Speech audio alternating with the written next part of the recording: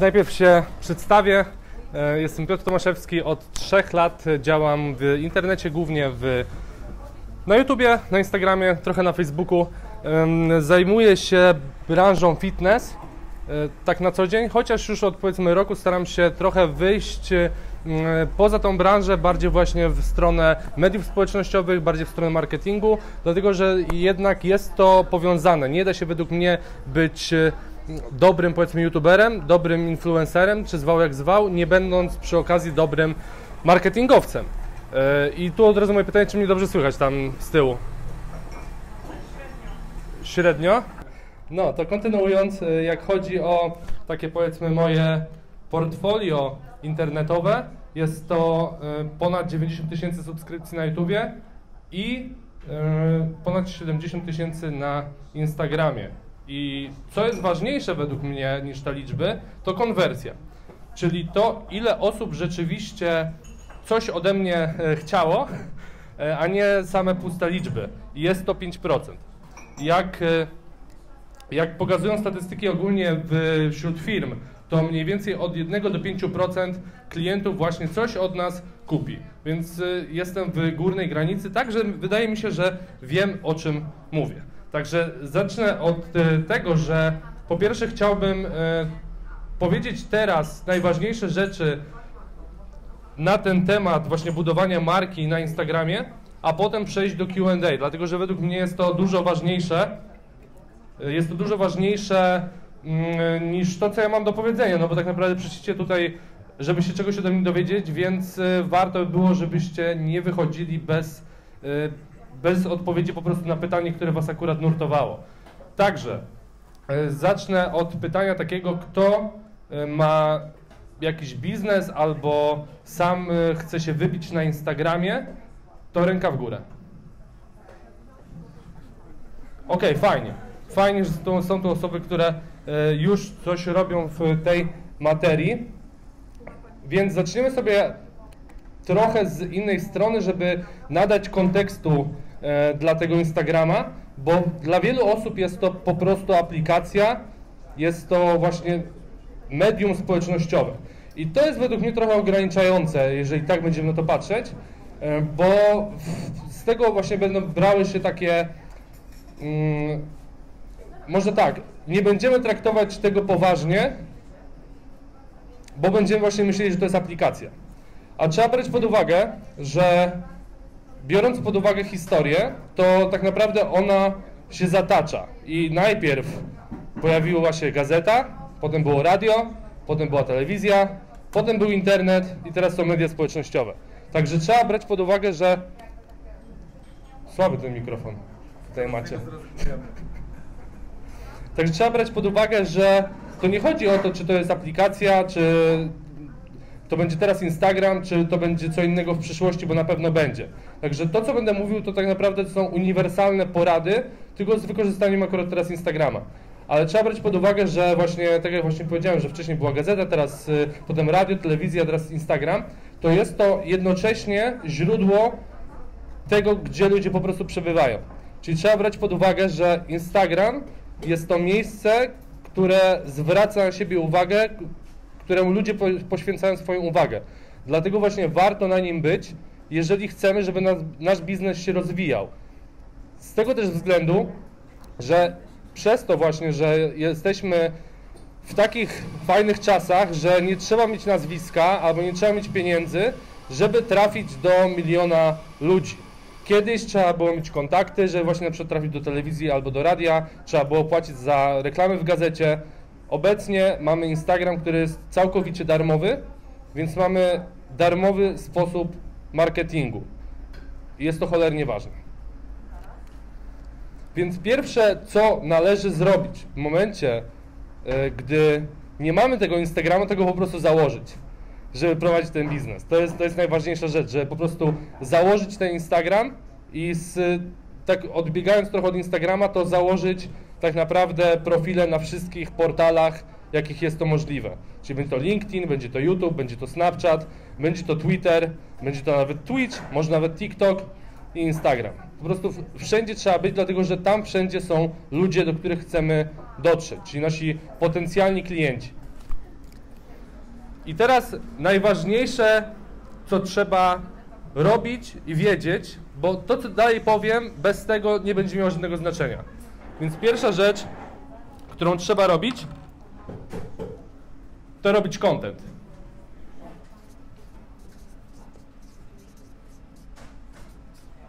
I content to jest najważniejsza rzecz i bez tego po prostu nas nie będzie. Musimy pojawiać się w tej sieci, żeby zwrócić na siebie uwagę. Nieważne jest, czy ktoś będzie miał, nie wiem, sprzęt za 100 tysięcy, super reklamę, super produkty, cokolwiek, jeżeli nie będzie robił treści. I trzeba tych treści robić jak najwięcej w sieci. Nie, nie wiem, raz na tydzień, raz na miesiąc, tylko po prostu dosłownie jak najwięcej. Bo wtedy, robiąc te treści, mamy szansę właśnie dojść i dotrzeć do jak największej grupy odbiorców.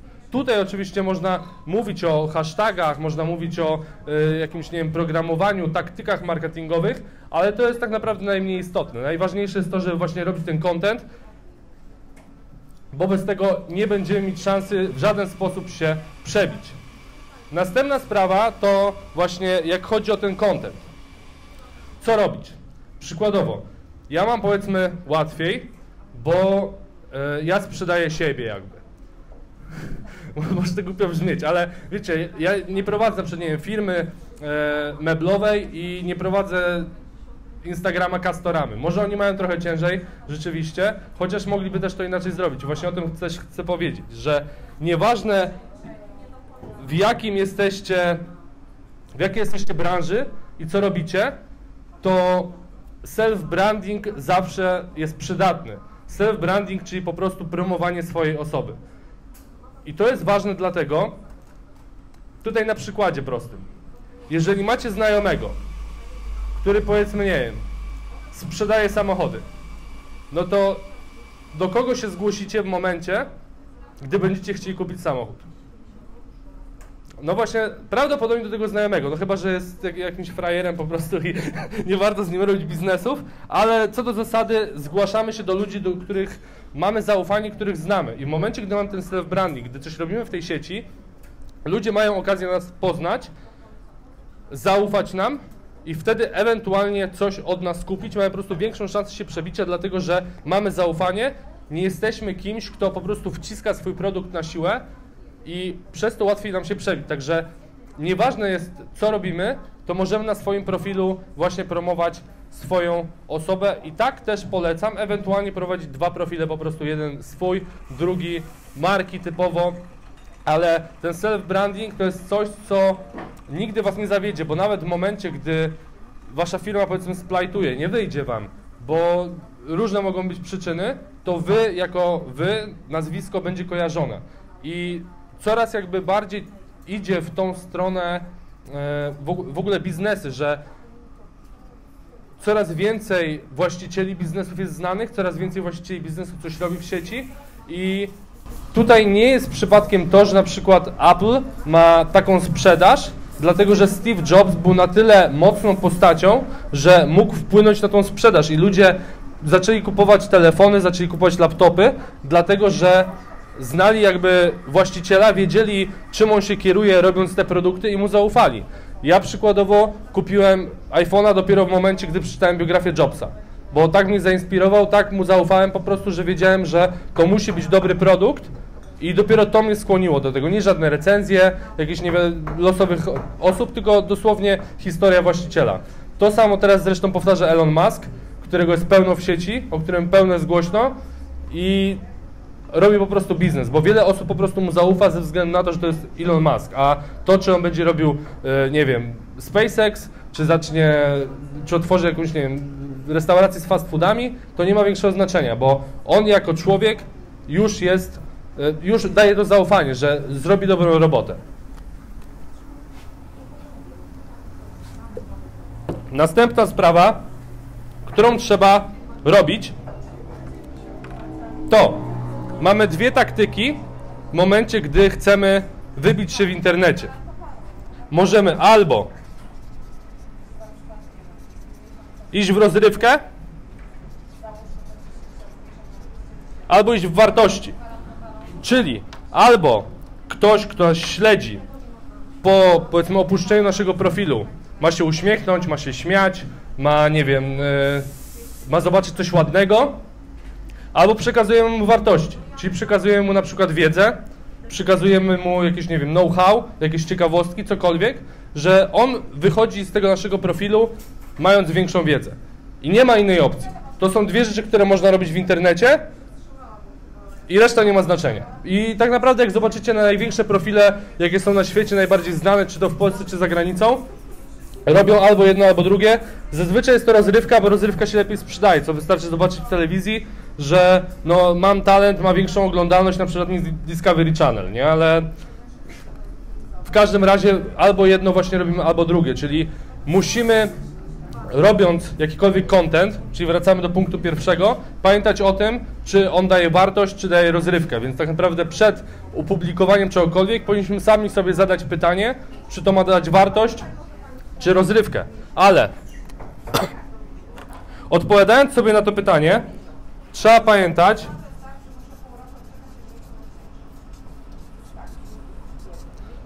że to rynek decyduje, czy produkt jest dobry, czy nie. Nie my. To nie my mamy oceniać, czy ten post będzie dobry, czy będzie zły, czy jakiś, nie wiem, film, który nagram się sprzeda, czy się nie sprzeda, bo ja tego po prostu nie ocenię. Ja jestem nieobiektywny wobec siebie, tylko to rynek ocenia. I często tak jest, że coś, co zrobiliśmy na odwal, lepiej się sprzeda niż coś, czemu poświęciliśmy bardzo dużo pracy. Więc nie można iść w perfekcjonizm w tym, co robimy, bo przez to tracimy tak naprawdę na po pierwsze szybkości i na ilości, bo starając się robić na przykład jak najlepsze posty na Instagramie, nie będziemy robić kontentu, więc tutaj idąc zasadą, że lepiej po prostu cokolwiek niż wcale, bo nie robiąc kontentu, nikt nas nie zobaczy. Robiąc słaby kontent, najwyżej ludzie ocenią go za słaby, ale mówię, my nigdy nie będziemy wiedzieli, co jest dobre, co jest złe i znowu wracając do robienia kontentu, w momencie, gdy będziemy robić go coraz więcej, będziemy w tym coraz lepsi. I tutaj praktyka czyni mistrza we wszystkim. Czy w sporcie, czy po prostu we wszystkim. Przykładowo, taki Ed Sheeran, teraz każdy wie, kto, kim jest Ed Sheeran, ale każdy wie, kim jest Ed Sheeran dlatego, że taki właśnie Ed pisał po 3 do 5 piosenek dziennie, codziennie przez kilka lat. I dlatego teraz każdy go zna, bo on po prostu osiągnął mistrzostwo w tym. I tak samo jest na Instagramie. Po prostu, zawsze jak na przykład zaczynamy nasz profil i każdy, kto już prowadzi profil na Instagramie, zauważy, że jak sobie zjedzie do pierwszego posta, który wrzucił, to jest on po prostu gorszy. Bo tak jest. Po prostu jesteśmy coraz lepsi, zaczynamy wychwytywać to, co widzą ludzie, to, co im się podoba i mamy po prostu feedback, że okej, okay, tego na przykład nie będę robił, bo tego nie będę robił, bo na przykład ludziom się to nie spodobało, albo był średni odbiór, a na przykład coś innego zrobię, bo na przykład miałem dużo reakcji, albo tam dużo serduszek, komentarzy. One nie, biorą się bez powodu, więc trzeba analizować to, co wkładamy do tej sieci i na podstawie tego budować następne treści. Czyli przykładowo, jeżeli okaże się, że nie wiem, y, ludzie lubią nasze powiedzmy zabawne treści, jak e, e, próbujemy ich rozśmieszyć, no i to nam wychodzi, załóżmy, to wtedy powinniśmy w to po prostu iść, bo z tego wynika, że nam to wychodzi i da nam to możliwość większego zasięgu.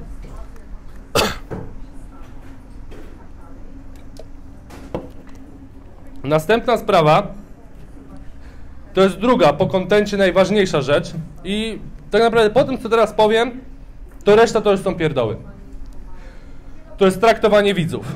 Musimy pamiętać o tym, że na Instagramie, na YouTubie, na Snapchacie to nie są maszyny, to są ludzie.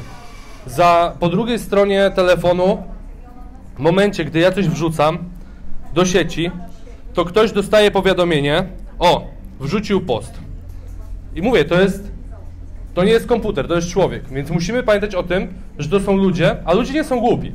I w momencie, gdy będziemy chcieli ich oszukać, w momencie, gdy nie będziemy szczerzy, w momencie, gdy nie będziemy ich olewać, znaczy będziemy ich olewać, to oni się po prostu od nas odwrócą.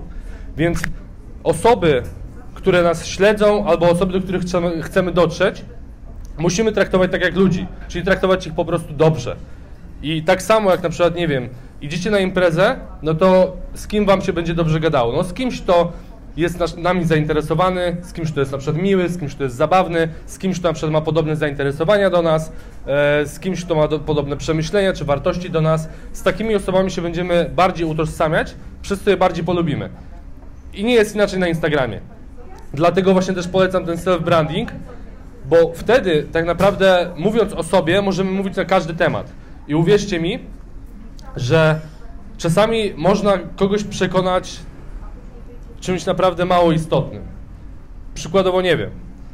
Prowadzicie LinkedIn i robicie post Cześć, masz 26 lat?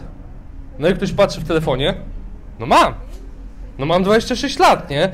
I, już jest zainteresowany, bo wie, że to trafia stricte do niego. I tak samo ktoś, nie wiem, były marki, które w trakcie e, jakichś dużych rozgrywek piłkarskich wrzucały posty typowo piłkarskie. Dlaczego? Dlatego, żeby przyciągnąć ludzi zainteresowanych piłką nożną. I dlatego nie można się zamykać w jednym temacie, bo raz, że będziemy mieć problem z robieniem kontentu, bo będziemy się za bardzo nad tym zastanawiać, a dwa, że w żaden sposób nie będziemy się mogli sprzedać, bo nas ludzie nie poznają. I to nie chodzi właśnie tylko o ten self branding, bo nawet jako marka możemy pokazywać jakieś pewne zainteresowania, czy coś, co lubimy, czy to, że jesteśmy na przykład na bieżąco.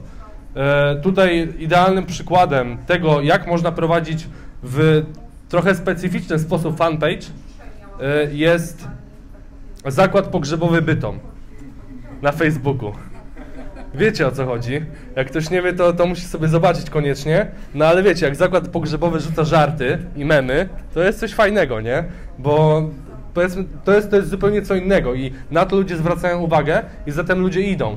I to jest ważne, żeby być jakimś, po prostu, żeby coś prezentować, a nie właśnie być takim robotem, który nie ma tak naprawdę emocji, tylko jest takim po prostu no taki niejaki człowiek po prostu. Także lepiej mieć mniejszą grupę odbiorców, ale bardziej zaufanych pod tym względem, niż yy, starać się być poprawnie politycznym tylko po to, żeby na przykład kogoś nie urazić. Także należy właśnie traktować ludzi z szacunkiem i teraz dochodzimy właśnie do tego. Żeby rozwinąć na Instagramie biznes, należy na nim siedzieć naprawdę dużo. I dużo mam tu na myśli 5, 6, 8 godzin dziennie. Nie żartuję w tym momencie. To nie jest tylko wrzucenie postu i odpowiedzenie na komentarze. Jeżeli dopiero zaczynamy, musimy zwrócić na siebie uwagę. Jak zwrócić na siebie uwagę? Przykładowo, będę tu podawał na swoim przykładzie jako trenera, jak bym teraz zrobił, gdyby dopiero, gdybym dopiero zaczynał i gdybym dopiero założył Instagram. Więc po pierwsze, na Instagramie śledziłbym każdy hashtag, który jest związany ze zdrowym odżywianiem, z fitnessem, z siłownią, obserwował te hasztagi i pod tymi hashtagami pojawiałyby się posty ludzi, którzy są tym zainteresowani. I tu naprawdę może być wszystko. Tu przykładowo jak jesteśmy w kawiarni, może być to hashtag, nie wiem, kawa, piję kawę, kawa z mlekiem, latte, cokolwiek. Śledzimy te posty yy, i zaczynamy się pojawiać. Czyli przykładowo wchodzę yy, jako młody trener na Instagram jakiejś siłowni, zaczynam im komentować posty. Wchodzę do ludzi, którzy komentują im posty i chodzą na tą siłownię, zaczynam im komentować posty. Zaczynam nawiązywać relacje. Tylko to musi być bardzo autentyczne. To nie może być takie sztuczne, jak niektórzy, że robią, nie wiem, e, taką kopię wklej wiadomość, super zdjęcie miłego dnia. No bo to widać, że to jest po prostu kopiuj wklej, bo to nijak się ma do tego postu. Także to musi taka osoba, która to widzi, musi zobaczyć, że jest to związane z tym, co na to wrzuciła. I tutaj najlepiej będzie trafiać do osób, które nie mają rozwiniętych kont.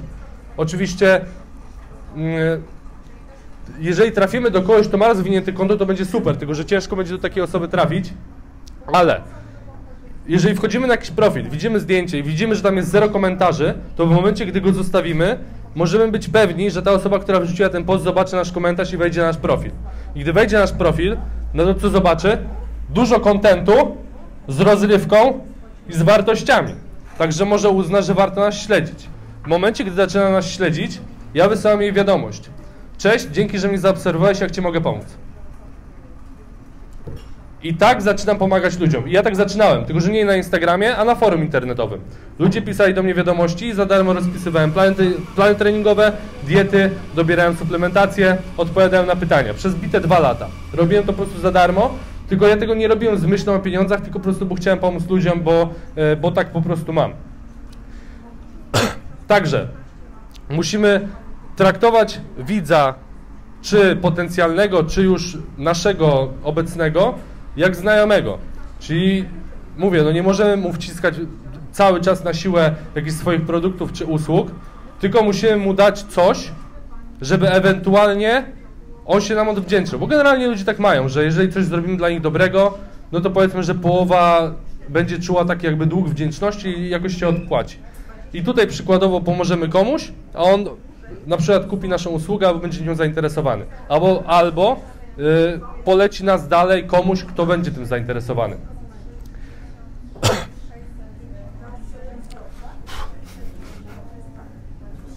Hmm? Nie, nie.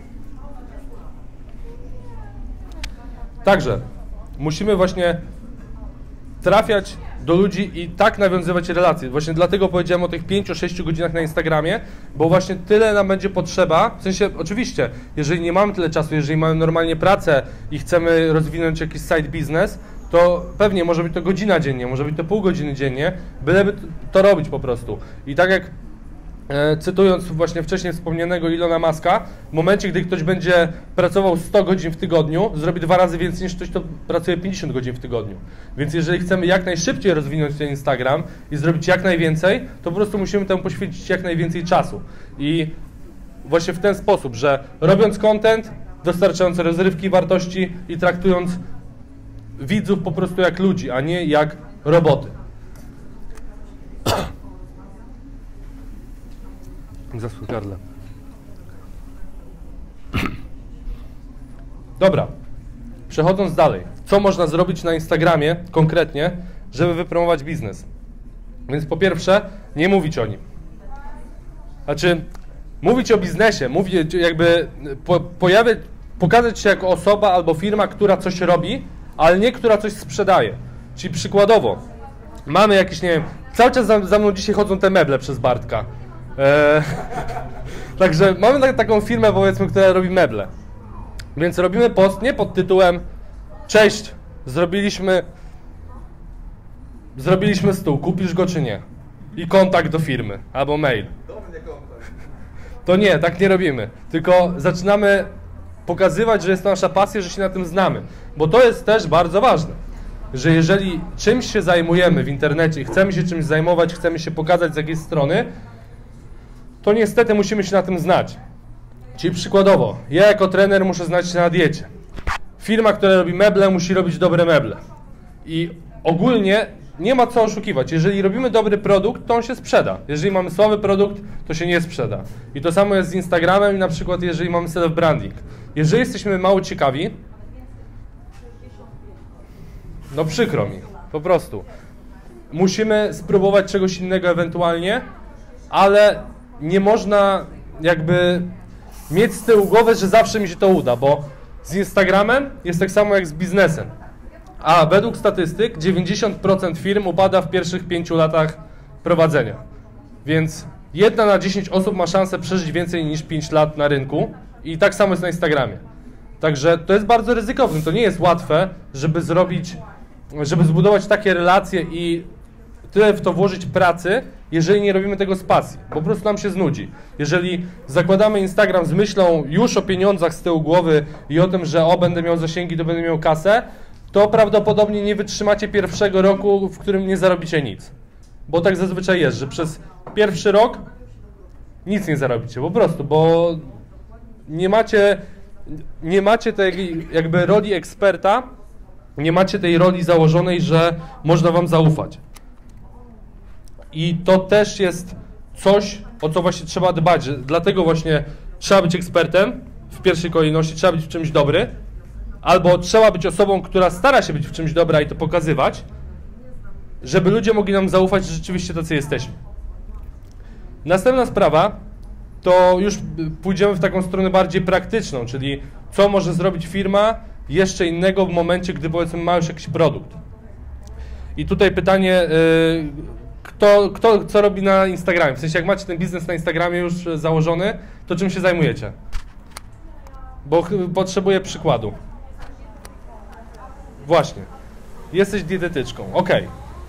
Co możesz zrobić, żeby się wybić, żeby się pokazać? Po pierwsze, najłatwiejsze według mnie i najbardziej praktyczny jest influencer marketing pod tym względem. I tutaj robisz tak. Influencer marketing, czyli yy, robimy marketing przez inne osoby, które są influencerami i które już mają to zaufanie. Bo my powiedzmy jeszcze go nie mamy i żeby go zdobyć, to musimy mieć poparcie kogoś, kto ma. Czyli to jest takie trochę yy, no nie wiem, jak odchodzimy z pracy, to nam szef na przykład pisze, że o, jesteśmy dobrymi pracownikami. To jest coś tym, Tak, to jest rekomendacja po prostu innej osoby, która już ma to zaufanie.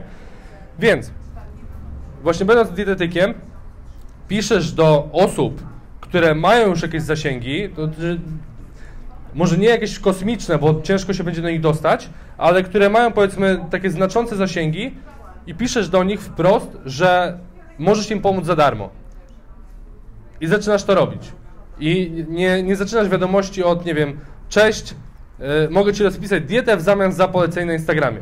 To nie, bo wtedy taka osoba uzna od razu, że stać ją na przykład, albo że nie chce i, i to leje. Czyli musisz wyjść z... Yy, musisz czymś wyjść do, wyjść do tego człowieka i nie chcieć nic w zamian. I mogę ci teraz powiedzieć, że tak jedna na pięć osób może się odwdzięczy. Cztery prawdopodobnie to wykorzystają, po dwóch, trzech miesiącach oleją. No ale taki jest po prostu rynek i nic z tym nie zrobimy. Ale w tym momencie masz dwie fajne rzeczy. Po pierwsze, możesz powiedzieć publicznie, że prowadzisz taką osobę, co już jakby daje, że okej, okay, on na przykład jej zaufał, no to, to ja też jej zaufam. Druga sprawa, jeżeli będzie miała efekty, czyli wracamy do tego, że trzeba być dobry w tym, co się robi, e, to to już będzie chodząca reklama, a po trzecie, jeżeli ta osoba nas poleci, no to już jesteśmy na dobrej drodze. I tak powtarzamy kilkukrotnie, tak naprawdę, yy, i już mamy duże zaufanie zbudowane w sieci. Jeżeli mamy jakiś produkt, robimy dosłownie to samo. Piszemy do osób, które mają zasięgi i mówimy: Cześć, nie wiem, yy, produkujemy słuchawki, podaj nam swój adres, wyślemy ci jakiś tam model. I jeżeli ten model jest dobry, jeżeli te słuchawki są dobre, to uwierzcie mi, że ta osoba komuś się poleci. Jeżeli je poleci, to inni nas zobaczą. Więc to jest najprostszy sposób na budowanie e, takiego powiedzmy w miarę szybkiego e, w miarę szybkiego zasięgu, właśnie przez inne osoby, które już ten zasięg mają. Druga sprawa to oczywiście hashtagi. E, nie będę tutaj aż tak Was e, zanudzał tymi hashtagami, bo też ostatnio na spotkaniu to było, ale generalnie hashtagi powinny, powinno się ich używać, powinno się nauczyć używać hashtagów i używać hashtagów zgodnych po prostu z postem i z naszym profilem. Czyli nie, musimy po prostu to przemyśleć, jakie hashtagi trafią do kogo i tutaj taka moja rada, że jeżeli robimy w Polsce biznes, to ja bym używał polskich hashtagów po prostu, bo co nam z tego, że będziemy mieć, nie wiem, obserwatora z zagranicy, jeżeli on tego i tak nie kupi, bo jest z zagranicy. Oczywiście, jeżeli budujemy zasięgi po to, żeby mieć duży profil, ok, ale w momencie, gdy idziemy prosto, że tak powiem, w sprzedaż i jak największą konwersję, to powinniśmy dbać tylko o te osoby, które mogą coś rzeczywiście od nas kupić. Z kolei, jeżeli mamy biznes w postaci na przykład takiej kawiarni i mamy jakby biuro, sklep, miejsce fizyczne, e, to jest możliwość zarówno na Instagramie, jak i na Facebooku postów sponsorowanych w danej lokalizacji. I tutaj również można wykorzystać fajnie możliwość, już Wam powiem jak to wygląda. Od razu na przykładzie.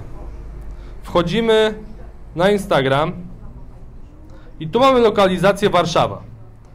I lokalizację Warszawa też można oczywiście bardziej e, wyszczególnić. I na przykład będziemy mieć, nie wiem, Pałac Kultury, bo mamy powiedzmy kawiarnię pod Pałacem Kultury. No i mam tutaj Pałac Kultury i patrzę po postach, co ludzie wrzucają. Widzę, że na przykład ktoś pije kawę w koście. A ja nie chcę, żeby pił kawę w koście, tylko u mnie. Więc do niego piszę, ty, wpadnij do nas na kawę, dostaniesz 20% zniżki. I piszcie tak do 20 osób. ktoś na pewno wpadnie, bo nikt nie pogardzi zniżką na kawę. A jak wpadnie raz, możliwe, że wpadnie drugi raz, możliwe, że poleci to dalej i to się będzie kręciło. I będąc na przykład taką kawiarnią, siedzimy 5 godzin na Instagramie i piszemy do ludzi. Non stop. I piszemy do influencerów, piszemy do, do powiedzmy osób, które po prostu korzystają z Instagrama rekreacyjnie i zapraszamy ich, dając im coś w zamian. Bo to z jednej strony jest reklama oczywiście, że wpadnij do nas, dostaniesz kawę, ale mają gratis i są wyjątkowi przez to, no bo to nie jest tak, że e, jest jakaś promocja akurat w danej kawiarni i każdy to ma, tylko on konkretnie, on już się czuje wyróżniony, więc tym bardziej chętnie przyjdzie. Także to są jakby takie dwa szybkie sposoby, żeby wybić swój biznes. Raz przez influencer marketing, dwa, że po prostu piszemy stricte do tych osób. I oczywiście cały czas robiąc content i cały czas budując relacje z innymi.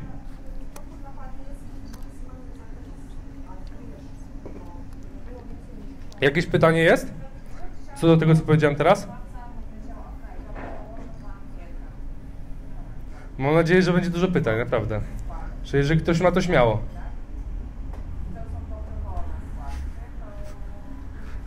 Ratuj. Ratuj. Tak? To ja mam takie pytanie na przykład odnośnie stricte Instagrama. Jeśli ja sobie prowadzę konto i niczego nie sprzedaję, Mhm. to czy jest sens, i moje konto się w sumie bardzo szybko rozwija, i czy jest sens w ogóle zmieniać na przykład na Instagramie na? Jakby czy to jest jakieś, bo ja nigdy tego nie zmieniałam, ale też nie wiem, czy mi w sumie na tym zależy, bo nie wiem, czy chcę jakby w tym, o czym piszę, że to raczej dla mnie jest takie... Okej, fajne pytanie. I tutaj tak, po pierwsze, jak zmienisz konto z prywatnego na firmowe, y, nie spotkałem się z tym, szczerze mówiąc. Y, Z tego, co za- za- ja zauważyłem, to zmieniając na konto firmowe, dostajesz tylko raz, że dostęp do statystyk, dwa, że w momencie, gdy masz 10 tysięcy obserwujących, możesz wrzucić link y, i po prostu masz większe możliwości.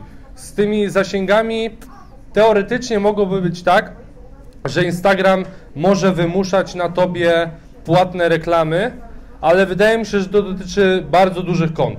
Że jeżeli konto ma, nie wiem, 200, 500 tysięcy, milion y, obserwujących, wtedy rzeczywiście może jest taka szansa, ale w momencie, gdy ktoś ma takie zasięgi, to powinien i tak, i tak sam pomyśleć o płatnych y, promocjach na Instagramie.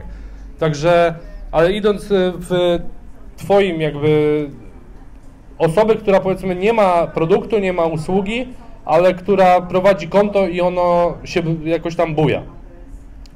Po pierwsze, zastanowiłbym się nad tym, czy nie jest, w sensie inaczej, dlaczego ludzie Cię śledzą, to pierwsze sobie odpowiedź na pytanie, e, że w sensie jest jakaś główna tematyka, przykładowo u mnie był to na przykład odżywianie i trening, u Ciebie może być cokolwiek, może być moda, może być jakiś, słucham? Może być środowisko. I teraz pytanie, czy nie fajnym pomysłem by było na przykład zrobić jakiś produkt, nawet elektroniczny w formie e-booka, bardzo tani, tylko po to, żeby po prostu wykorzystać te zasięgi i mieć dodatkowe źródło dochodu.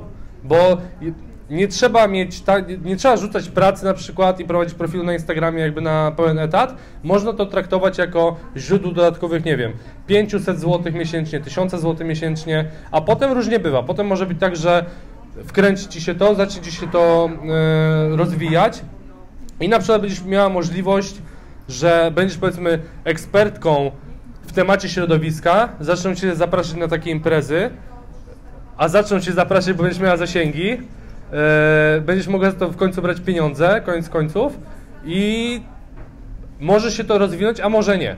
Więc y, na wszelki wypadek i tak i tak bym robił coś w tym kierunku, zwłaszcza jeżeli to lubisz. Jeszcze coś? Na pewno? Okej. Dobra, także y, wracając jeszcze do tego Instagrama, co możemy robić? To po pierwsze, jak chodzi o content, to nie tylko posty, ale też Insta relacje i live'y. Live to jest coś, co wraz, moim zdaniem przynajmniej tym, co widzę po prostu po konwersji, że live'y i filmy na YouTubie to jest coś, co najlepiej się przykłada, dlatego, że ludzie nas po prostu widzą. Zwłaszcza na, zwłaszcza na live'ie, gdzie no, nie, nie ma reżyserki, nie ma scenariusza, tylko lecimy, no tak jak ja tutaj teraz, nie, no, nie, nie zrobię nagle przerwy, yy, nie przemyślę czegoś, cokolwiek, tylko tak jak jestem, to, to z tym muszę działać. Tak samo jest właśnie na live. I przez to, że ludzie zobaczą nas na żywo, też nam łatwiej, łatwiej im będzie nam zaufać, bo jeżeli jesteśmy profilem, mm, e, teraz się ostatnio z tym spotkałem właśnie, że jeżeli jesteśmy profilem, który wrzuca zdjęcia rzeczy, przykładowo mamy profil typowo kulinarny, robimy tylko zdjęcia jedzenia i na story wrzucamy tylko zdjęcia jedzenia i nawet ludzie nie wiedzą jak wyglądamy. Są takie profile, spotkałem się z profilem, który ma prawie 100 tysięcy 100 tysięcy obserwatorów i może na trzech zdjęciach jest twarz tej osoby. Więc y, i ciężko było to znaleźć tak naprawdę. Więc ciężko będzie zaufać komuś, kto jest bez twarzy, bo to równie dobrze może być komputer. Więc y, przez to, że będziemy relacjonować to, co się dzieje, mówić do tej kamery y, i robić live'y, to będziemy bardziej autentyczni i łatwiej komuś się będzie z nami utożsamić. Jak chodzi właśnie o te live'y, to jakby ludzie będą mieli do nas jakiś dostęp że oczywiście mogą napisać na DM-a, może nawet im odpiszemy na tego DM-a, co polecam oczywiście, e, to e, jakby są z nami twarzą w twarz, mimo że my ich nie widzimy, to oni mają trochę inne wrażenie do tego. I idąc właśnie do tego DM-a, to jest czasami denerwujące, e, czasami to jest stresujące, czasami się nie chce, ale powinniśmy odpowiadać na wszystkie komentarze, jakie dostajemy i wszystkie wiadomości, jakie dostajemy. Ja w tym momencie, dostając 50 wiadomości dziennie nawet, staram się odpowiadać na 90%. I robię to ja, nie robię za mnie, za mnie tego bot, e, tylko robię to ja osobiście i staram się dalej robić to, co robiłem na początku. Mimo, że wcale bym nie musiał, ale wiem, że jakbym przestał to robić, to by to wszystko obróciło wokół, przeciwko mnie i bym wrócił do punktu wyjścia. Bo po prostu ludzie by nic ze mnie nie mieli. Więc tak naprawdę w momencie, gdy nam rosną liczby, to wszystko, co robimy, musimy robić jeszcze bardziej. Czyli ja dalej robię content, staram się przekazać wartość albo rozrywkę, odpisuję na DMy i komentarze, których jest odpyty, staram się codziennie wrzucić post, robię live raz, dwa razy w tygodniu yy, i dalej też przeglądam właśnie te hasztagi, dalej lajkuję zdjęcia, dalej komentuję posty, yy, więc wszystko tak naprawdę robię to, co na początku, bo to po prostu działa. I tu na przykładzie bardzo fajnym, żeby udowodnić, że to jest uniwersalna metoda. To nie jest tylko Instagram, to nie jest tylko internet, tylko jest to uniwersalne. Był taki sprzedawca samochodów z Stanów Zjednoczonych, e, Joe Girard, bodajże się nazywał. I to były jeszcze czasy przed internetem, więc nie było takiej możliwości, żeby on miał bloga, żeby miał stronę internetową, żeby sobie zapłacił za Google AdWords, cokolwiek. Tylko on robił reklamę i robił sobie marketing z klientem face to face, po prostu. Jaka była jego metoda? Po pierwsze, gdy ktoś chciał kupić samochód, to on rzeczywiście chciał tym ludziom pomóc. Czyli nie wciskał najdroższego samochodu, tylko wciskał, znaczy nie wciskał, po prostu proponował im takie, jakie oszukali i dbał o klientów. Przykładowo, co ja sobie nie wyobrażam tego robić w dzisiejszych czasach, chociaż jakby trzeba było, to pewnie robił. Wysyłał listy do klientów, wszystkich. Jak były święta, wysyłał kartki z życzeniami na święto do klientów. No i teraz wyobraźcie sobie, idziecie kupić samochód i do was potem facet pół roku później pisze i wysyła kartkę z, z życzeniami. No to raz, że prawdopodobnie, gdy będziecie chcieli kupić następny samochód, do niego pójdziecie i polecicie po prostu go innym. I tak samo jest na Instagramie. Jeżeli będziecie dbać o tych ludzi, to oni z wami raz, że zostaną, dwa, że polecą was dalej. I teraz jeszcze dwa punkty, o których chciałbym powiedzieć. Y, jeden jest pocieszający, drugi nie, nie bardzo. E, więc zacznę od tego lepszego może. To pocieszające jest to, że nie trzeba mieć dużych liczb, żeby mieć konwersję i żeby mieć wyniki. Ja nie miałem już miejsca na prowadzenie przed tym, jak założyłem Instagram i YouTube'a. Nie potrzebowałem w ogóle mediów społecznościowych, żeby y, mieć 30 klientów stałych po prostu z działalności w sieci, z działalności na forach, gdzie zasięg miałem, podejrzewam, że 100 albo 1000 razy nawet mniejszy niż obecnie. Więc nie trzeba mieć dużych zasięgów, dużych liczb, żeby właśnie była ta konwersja, bo ważniejsza jest jakość tego widza, a nie ilość widzów. Bo jasne, można iść na przykład w rozrywkę i można, nie wiem, tak jak jakiś, nie wiem, Lord Crushfield albo ktokolwiek inny, nagrywać typowo rozrywkowe materiały, w których ktoś przyjdzie, pośmieje się i wyjdzie. I tutaj dobrym przykładem jest na przykład, dobrym przykładem na przykład, e, jest Wardega, który miał no, rekord na polskim YouTube, jak chodzi o ilość wyświetleń pod filmem i był w YouTube Rewind nawet, czyli jego film był w top przynajmniej 100 na świecie. No to wtedy wymyślił, że, wy, że wyda koszulki, no bo skoro ma tyle widzów, to na pewno się sprzedadzą. Kupił tysiąc koszulek i mu zostały. No dlaczego? Dlatego, że ludzie przyszli tam, żeby zobaczyć rozrywkę. Oni zobaczyli psa pająka i poszli dalej. I oni o tym psie pająku po prostu pamiętali, że coś takiego było, no ale co z tego? Więc y, ważniejsza jest dużo jakość nad ilością, bo tutaj prosta sprawa i tu jest naprawdę trzeba być otwartym y, z tym, co lubimy robić w życiu i co myślimy, bo nie wiemy, czy jest ktoś inny, kto też tak myśli. I teraz wyobraźcie sobie sytuację, że, no nie wiem, macie jakieś bardzo niepoprawnie polityczne zdanie, albo macie jakieś naprawdę bardzo dziwne hobby, nie wiem, zbieranie ślimaków, cokolwiek, i okazuje się, że jest jakiś facet, który ma wielką firmę, zarabia miliony i też zbiera ślimaki. I on nagle zaczyna oglądać materiały gościa, który zbiera ślimaki, jest jedynym widzem. I jak myślicie, od kogo więcej będziecie w stanie wyciągnąć? Od gościa, który ma strasznie dziwne zainteresowanie i wy macie takie same? Czy od y, na przykład dzieciaków, którzy nas śledzą, bo, bo ładnie wyglądamy? Więc dlatego ta jakość jest ważna, bo nigdy nie wiemy, kto nas śledzi. I naprawdę jest bardzo różnie. Przykładowo, ja bym pewnie, mnie by tutaj pewnie nie było, gdyby nie to, że y, właśnie Bartek, który mnie zapowiedział, mnie wcześniej śledził i tak się dogadaliśmy tak naprawdę. Inaczej ja bym się tu nie znalazł, y, on by pewnie też do mnie nie dotarł, ale połączyło nas jakieś zainteresowanie. I tym zainteresowaniem nie były social media, tylko był fitness. Także, nie robiąc content, nie powinniśmy zastanawiać się nad tym, co się sprzeda, a co nie, tylko dokumentować to, co robimy, po prostu. Czyli nie starać się, żeby te posty były jakieś super, tylko jeżeli na przykład, nie wiem, jak ty jesteś dietetyczką, to nie robić jakichś postów takich typowo, że zastanawiać się, co możesz przekazać, co napisać, tylko dokumentować, co robisz w ciągu dnia. I wtedy dużo łatwiej jest robić dużo materiałów, zarówno na Instastory, jak i właśnie dużo postów, bo po prostu cały czas się coś dzieje. I tak samo teraz możecie przykładowo Teraz, teraz będzie reklama dla mnie. Teraz przykładowo jesteście na takim spotkaniu i tutaj to wiadomo, że no, jest, jest małe spotkanie, ale załóżmy, że jesteście na szkoleniu u kogoś, gdzie jest, nie wiem, tysiąc osób na sali i jest to jakaś znana, znana osobistość. I wy w tym momencie na Instastory, albo jeszcze lepiej nawet na poście na Instagramie, robicie sobie zdjęcie, cyk, byłem na spotkaniu tego i tego i go oznaczacie. Jest duża szansa, że on was wrzuci na Instastory, że byliście, albo do was napisze. I już łatwiej jest złapać kontakt z kimś, kto wie, że był, że u kogo byliście na spotkaniu, niż z totalnie y, nieznajomą osobą. Także po prostu nagrywacie, czy tam robicie zdjęcia tego, co właśnie się dzieje i oznaczacie chociażby nawet profile. Tutaj byście oznaczyli, nie mnie i na przykład kawiarnię tag. I już ta kawiarnia też wie, że tutaj byliście i różnie bywa, naprawdę. Naprawdę nie wiecie, czego się możecie spodziewać.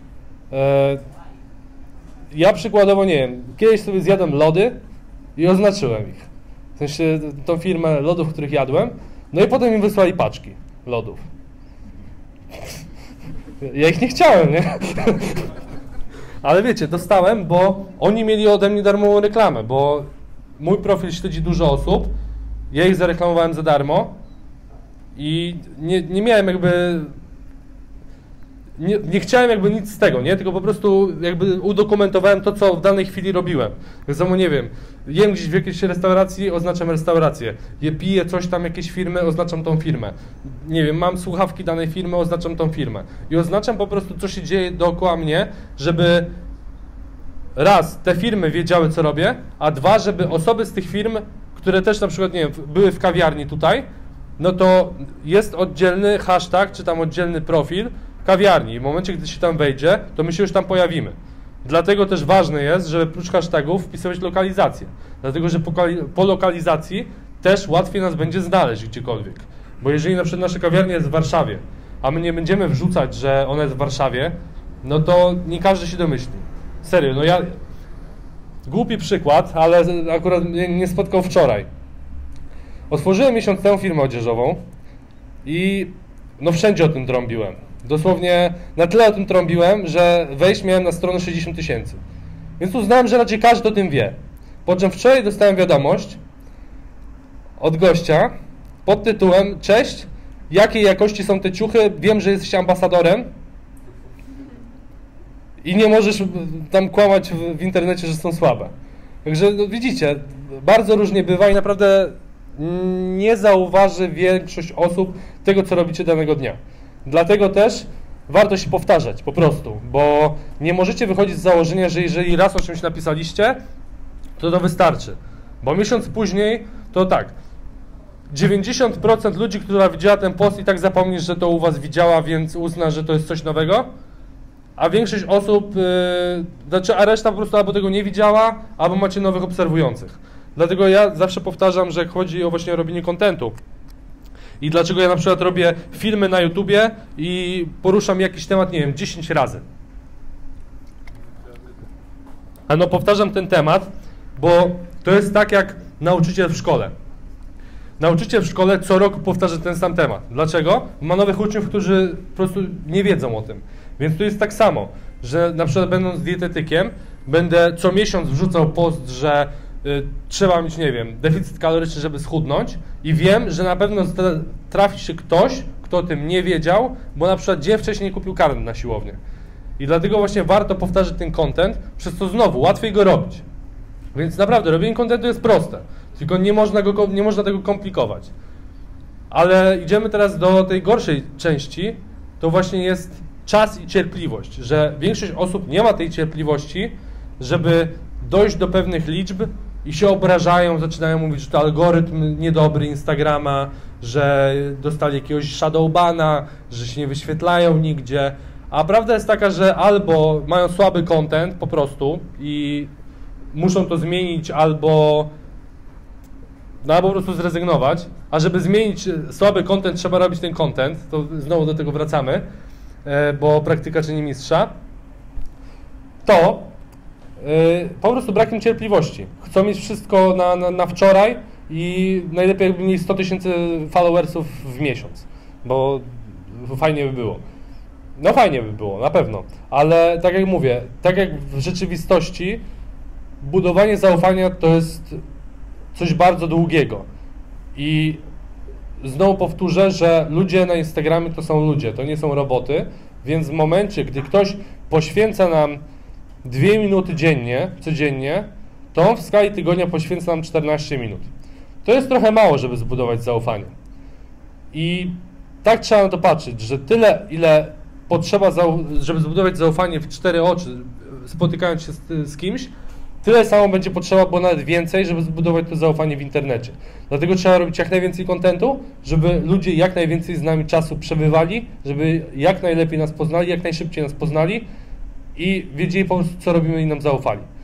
Więc dlatego ja uważam, że co najmniej 1-2 lata to jest taka normalna liczba, która w większości jest potrzebna, żeby zacząć to monetyzować.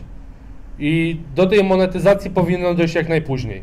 w momencie, gdy wiążecie koniec z końcem, nie potrzebujecie tej kasy z Instagrama, to ja bym jej nie brał po prostu, bo to się nie opłaca. E, I tu też przestrzegam przed e, współpracami barterowymi. Bardzo wiele profili traci na tym, że bierze każdą współpracę, jaka jest możliwa. Dostają współpracę, nie wiem, i to nawet nie, nie płatne, tylko barterowe. Dostają po prostu produkt za, za post. I w momencie, gdy wasz profil wygląda tak, że co drugi post to jest reklama, no to no, robicie się po prostu jak Polsat, nie? Że macie film fajny i nagle jest reklama co 10 minut. No i ludzie, wiesz, nie będzie się chciał im tego oglądać, odpalą Netflixa, gdzie nie ma tych reklam. I to jest tak samo, że pójdą na profil, gdzie nie ma po prostu reklam co chwila. Więc jeżeli coś reklamujemy, to powinniśmy reklamować po, po pierwsze dosyć rzadko, żeby budować jednak swój brand, a nie czyjś, bo reklamując czyjeś produkty, po prostu reklamujemy czyjś brand. E, a po drugie, reklamować rzeczywiście dobre produkty, bo to wtedy też się, też się fajnie sprzeda i to wtedy ludzie nie będą mieli wam tego za złe. Jeżeli będziecie promować, nie wiem, powiedzmy ciuchy i będziecie promować fajne ciuchy, bo ludzie zobaczą tą firmę, kupią na przykład coś od nich i będą pamiętali, że kupili to od was. Więc y, biorąc pod uwagę współpracę jakikolwiek, po pierwsze stosunkowo rzadko, po drugie dobre produkty. Tu nie chodzi nawet o, o, o stricte o pieniądze, że muszą wam płacić, bo, bo różnie bywa. Ja przykładowo mógłbym teraz sobie krzyknąć za post 2000 zł, a mógłbym coś zrobić za darmo. Zależy od produktu. Więc y, mówię, jak chodzi o tę współpracę i reklamowanie czegokolwiek, do minimum i łącznie właśnie ze swoimi produktami, ze swoimi usługami. U mnie na przykład jedyna reklama na Instagramie, jaka jest y, mojego e-booka, to jest to, że wrzucę raz na dwa tygodnie informację, że takie coś mam. To jest wszystko. Ja nie piszę o tym w postach, nie mówię o tym, yy, ewentualnie czasem wrzucę transformację, ale to też nie jest zbytnio reklama, bo to jest bardziej taka motywacja. Yy, I tak samo jest ze wszystkim, że w momencie, gdy macie jakiś biznes, to musicie się skupić właśnie na tej rozrywce, wartościach, robieniu kontentu, budowaniu relacji i pieniądze przyjdą same, serio. I to jest tak duży rynek, że nie ma czegoś takiego, że jest przesycony. Po prostu. Jeżeli można powiedzieć o przesyconym rynku w momencie, gdy są naprawdę duże firmy. Przykładowo, stacje benzynowe to jest przesycony rynek, bo mamy po prostu 3, 4, 3-4 duże firmy i ciężko się nam będzie przebić przez, yy, przez to w jakikolwiek sposób. Więc jeżeli nie robimy naprawdę czegoś na ogromną skalę, yy, to nie przejmowałbym się totalnie ani konkurencją, ani tym, czy rynek jest przesycony, czy nie jest przesycony. Bo na pewno znajdziemy na tyle osób chętnych, że bez problemu się z tego utrzymać, bo niewiele potrzeba. Bo tak jak mówię, właśnie ta jakość widza i konwersja. W momencie, gdy mamy 5% konwersji, to mając 10 tysięcy obserwujących, mamy 500 klientów. W momencie, gdy 500 klientów kupi od nas produkt za 100 zł, mamy 50 tysięcy złotych. To nie są małe pieniądze. Także trzeba tak na to patrzeć, że nie trzeba dużych liczb, żeby cokolwiek znaczyć i żeby się utrzymywać, bo zazwyczaj duże liczby wiążą się z innymi rzeczami yy, i no nie brałbym tego zbytnio pod uwagę. Jakieś pytania? Jaki mamy czas? Tutaj jedno pytanko. Tak? A czy jak ma się małe konto, takie wiesz, około tysiąca zaledwie, to opłaca się w ogóle inwestować w reklamę na Instagramie? To jest dobre pytanie. Y, Jak chodzi o inwestowanie w reklamy, to to jest trochę tak jak w inwestowaniu zwykłym, że tu przykładowo nie wiesz, czy ci to pójdzie. mm, Jest takie powiedzmy ryzykowne, musisz wyjmować swoje pieniądze, żeby w to zainwestować. To tu bym powiedział, że w zależności od tego, ile ogólnie masz pieniędzy, ile zarabiasz. Jeżeli możesz na przykład pozwolić sobie, nie wiem, że trochę zredukujesz wydatki i na przykład możesz 200 zł poświęcić na to, to ja bym w to poszedł, ale najpierw na pewno poczytał o tym, jak robić posty sponsorowane na Instagramie. Ale pytanie, czy robisz to w pierwszej kolejności? Czyli czy na przykład codziennie pojawia się post, czy codziennie się pojawia 10 relacji, czy robisz raz w tygodniu live'a, czy umiesz... Czy... Czy, czy umiesz używać hashtagów, czy używasz tych hashtagów, czy właśnie piszesz do tych ludzi budujesz relacje. Jeżeli to wszystko się robi i nie ma tego przyrostu, to znaczy, że po prostu za mało czasu minęło. Bo ja nie wierzę w to, że. Może inaczej. Jestem zdania, że każdy jest w stanie zbudować na tyle dużą. na tyle duży. Za, na tyle duży zasięg mieć, że móc bez problemu utrzymywać swój biznes i to w przeciągu jednego, dwóch lat. Tylko po prostu trzeba czasu i trzeba w to włożyć naprawdę dużo wysiłku, że właśnie zbudować to, o czym mówiłem. Bo, no mówię, szczerze, jeżeli masz tysiąc obserwujących, to albo to, co mówiłem, robisz od tygodnia, albo tego nie robisz w ogóle. Bo ja to sprawdzam na co dzień. Ja to sprawdzam na co dzień, że ja wchodzę w profile małych osób, zostawiam im komentarz, zaraz one mi, dają, ob- dają mi followa.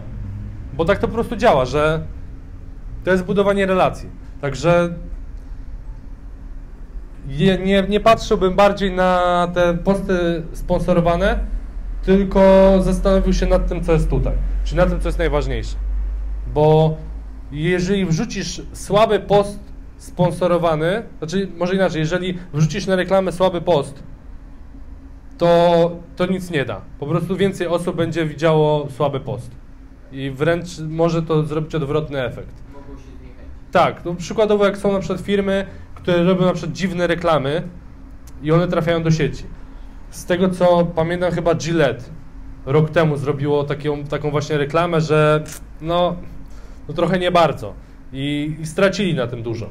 Więc y, nie uważam, żeby posty sponsorowane to było coś, co jest potrzebne do zbudowania konta. Na pewno może pomóc, zwłaszcza jeżeli jest to duża marka, to wtedy po prostu jest reinwestycja. Przykładowo, zarabiamy 1000 zł, to 1000 zł wkładamy z powrotem w posty sponsorowane, żeby e, dotrzeć do jak największej grupy ludzi. A jak już masz tej konsekwencje, załóżmy pół roku, konsekwentnie wrzucasz y, materiały, robisz wszystkie te elementy, o których mówiłeś i wtedy zastanowisz się pewnie, czy czekać jeszcze właśnie, żeby zbudować te konto, ten zasięg, dopiero wtedy wkroczyć z reklamami. Podejdziesz na chwilę? Tylko nie mówię teraz obecnie o moim koncie. Okej, a podasz mi to konto? Tak, naładuj baterię. Tej żony akurat. Naładuj baterię. A, przez Naładuj L czy... baterię. Nie, przez L. O, masz. I teraz właśnie ostatnio konsekwentnie działa. Okej.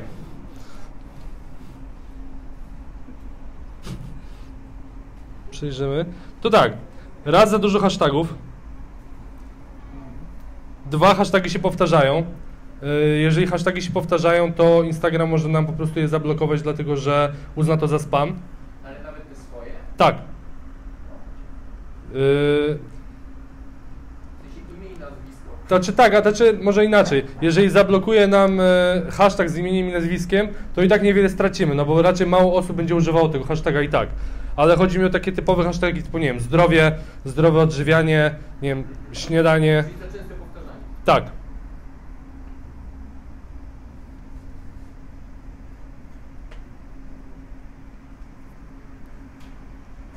Okej, powiem tak. E, Ja zaobserwowałem i e, przejrzę ten profil dokładnie. Przejrzę ten profil i wrócę, wrócę do Was z feedbackiem. Po prostu do Was napiszę i powiem, co, co źle robicie. A jak wszystko dobrze robicie, to Was e, rozpromuję, dobra? Dobra. No i się możemy umówić, że jeżeli będzie ten, już e, ten, jeżeli ten profil będzie miał wszystko, co powiedziałem, no to macie reklamę u mnie. Dobra. Umowa stoi. No to ja mam pytanie, dobra, no to jeśli ja na przykład prowadzę, mam ten sam kontent ciągle, jak Mhm. piszę w jednym kierunku i wstawiam hashtagi, no to nie ma możliwości, żebym ja nie powtarzała tych hashtagów. W sensie przecież nie znajdę jakby, mm, tak jak w zdrowiu, nie znajdę, nie wiem, zdrowe jedzenie, zdrowa siłownia, zdrowe coś tam, zdrowe coś tam, że jakby miliona takich hashtagów w tym kontekście. Bo na przykład ja mam taką grupę hashtagów, którą praktycznie wstawiam pod każdym zdjęciem, w sensie takie z pięć hashtagów plus dodaję to, co jest na zdjęciu.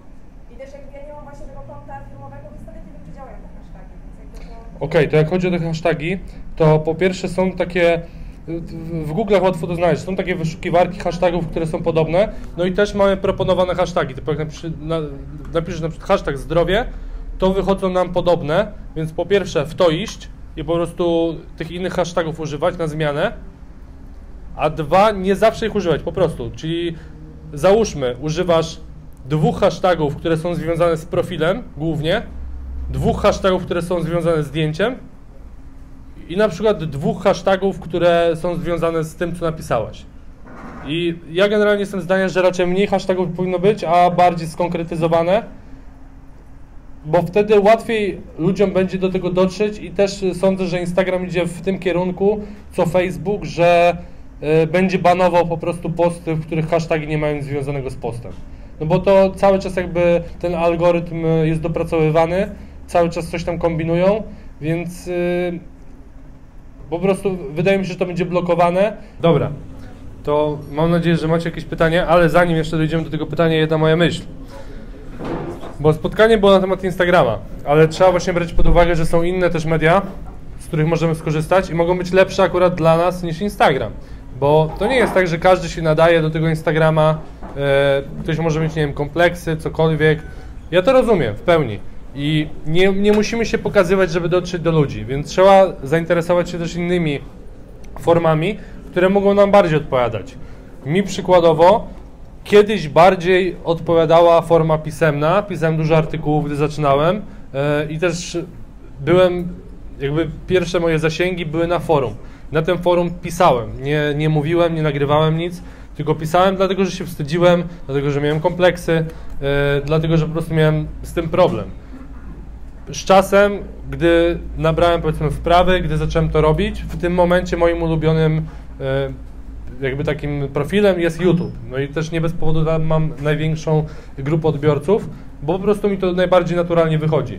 Także jeżeli ktoś nie czuje się dobrze na tym Instagramie, nie czuje tego Instagrama, nie chce się zbytnio pokazywać póki co, to warto by było po prostu zainteresować się innymi formami, czyli tu mamy tak naprawdę dwie, albo audio, albo właśnie pisemne, czyli albo podcasty, albo blog, artykuły, czyli tutaj też byłby e, Twitter, LinkedIn e, i Facebook.